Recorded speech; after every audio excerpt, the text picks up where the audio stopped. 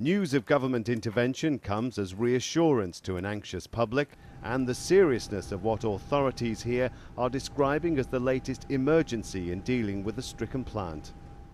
Millions of dollars will now be spent on creating what's hoped will be an impenetrable underground barrier to prevent contaminated water from reaching the sea. Creating a barrier on such a large scale to stop a leak has never before been seen anywhere in the world.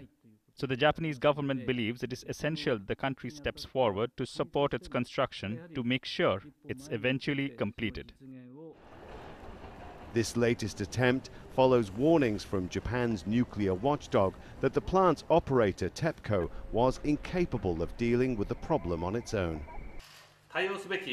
This is not an issue we can let TEPCO take complete responsibility for, and we have to deal with this at the national level. But many in Japan are asking why, two and a half years into this crisis, this major government action is being taken only now, and whether, if TEPCO had been ready to admit problems earlier, solutions could have been found sooner.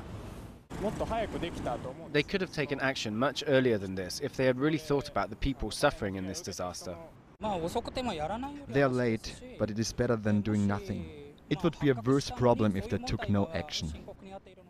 In spite of the new measures, experts warn there is still no guarantee of success. You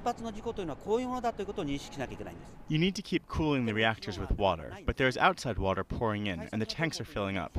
More important, you have to face the fact that nuclear disaster is of such a complex nature, there is little you can do about it. The scale of the tragedy was unprecedented.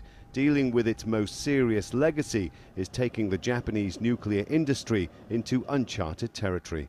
Rob McBride, Al Jazeera, Tokyo.